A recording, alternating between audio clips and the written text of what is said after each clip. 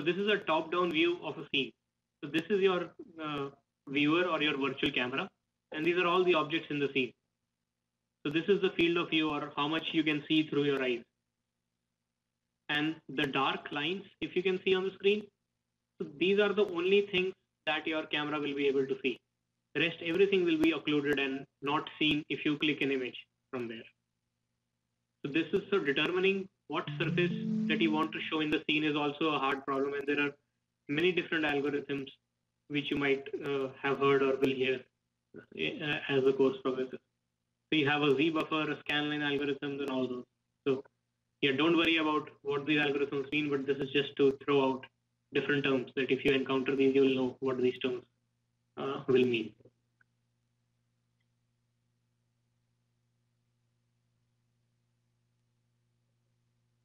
So what are the real real world phenomena that we want to capture or we want to uh, simulate? We want to have like surface details. So if there is a very detailed object in which it has a lot of things on it, you want to capture that. You want to capture shadows in the scene, obviously. So there is transparency, refractions, because you have different kind of objects. Let's say you're looking through water or looking through glass. Then there are inter-object reflections, which means that objects can reflect onto each other. For example, a mirror can reflect everything perfectly. But if you look at like a very shiny object, it will reflect like a spoon or a plate, a steel plate. It will try, it will reflect something, right? That is inter-object reflection, and so on. So capturing all these effects may be very computationally expensive, but it means that it takes a lot of computer uh, computer time and power to generate all these effects, and it may, might not be possible for all algorithms to do it. So there are different algorithms which are devised to capture at least some of these effects, and we, I'll quickly talk about these in the next slide. First is a scan conversion. So what does that mean? So what it means that now you want uh, uh, uh, now you want to color the pixels of your 2D image, right? So for each pixel, you you will determine that what object in the scene that you want to shade. And you you just go by each pixel one at a time and you will color something out of it. So for example this is a, rendered image which is uh, through scan conversion. So you can see that it does not look very real like the spoon here there are no shadows and it does not look very real right? So there is there are uh, other methods such as ray tracing so so okay in this image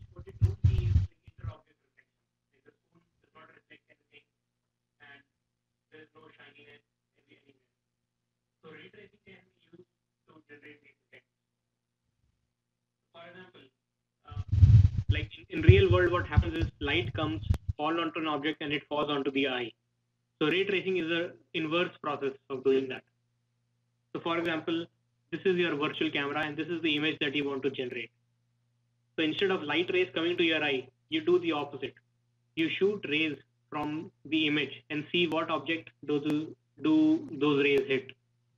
And when you find that object, you see that, okay, what is the lighting coming from the light source from that object? And then you determine what color is that and you color and you put it on your pixel in this image right here. And using this, you can generate an image something like this. So here you can already see that this image looks much more real than this one like you have some soft uh, soft shadows your spoon is reflecting everything and there is a small highlight on the glass and this teapot it can reflect the environment in the scene uh, so uh, so ray tracing can capture many um, interesting interreflection and Im images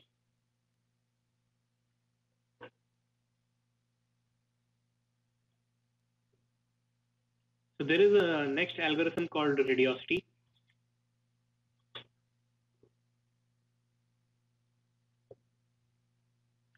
So, so radiosity is valid only for diffuse surfaces, which means that they, they do not shine or they do not reflect light uh, as in like mirrors. So there is something, an effect called color bleeding, which even ray tracing cannot produce. So let's look at this image. So this is like a, a box with red and green wall, and there is some light on the top, and there are two boxes kept here. So what you can see is that this box right here it has a reddish reflection from the wall. So this is what we call color bleeding. That because this light uh, touches, uh, touches the wall and the light gets reflected back, so it carries some of the color of the wall. So you definitely you will see that in the real world if you have a really colored wall or really colored paper, and if you uh, put it close to some like white paper, you will see some uh, color on uh, due to the reflected light.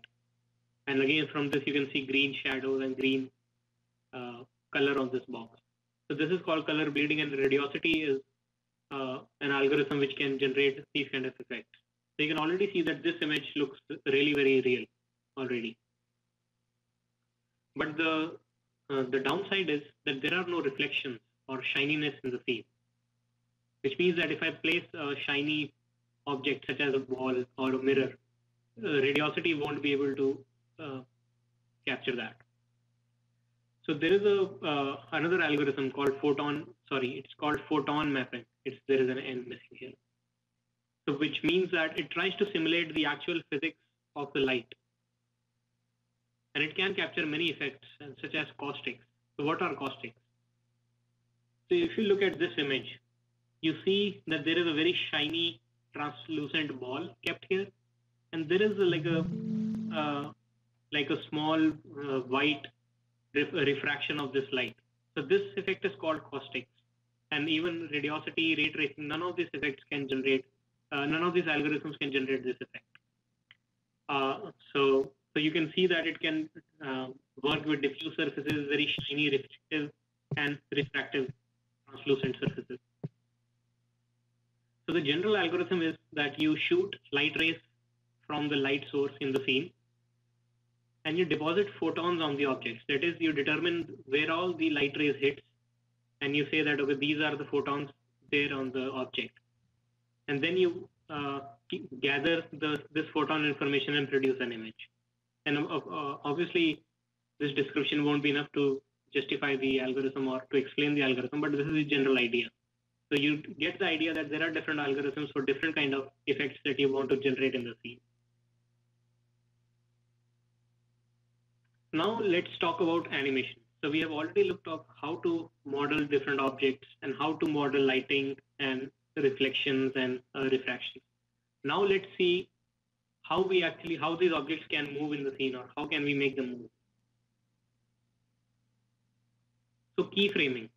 So keyframing is like one of the most traditional techniques and still very widely used in movies or games. So what does that mean? Basically artists draw some frames in time, which means that they uh, they draw certain positions of the object in time.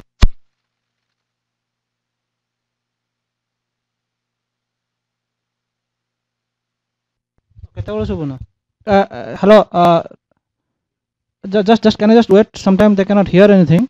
Uh, just, I'm just fixing that. Okay, just, just one second. No, I'll restart uh, restart Skype again. Okay, I'll restart the call. Okay. Okay. Hello, online phone. Call calling. Hello. Yeah, yeah. Can, can you hear? Okay, go ahead. Go ahead. Sorry, Smith, you can go ahead now. Okay. So let me uh, re, uh, start this again.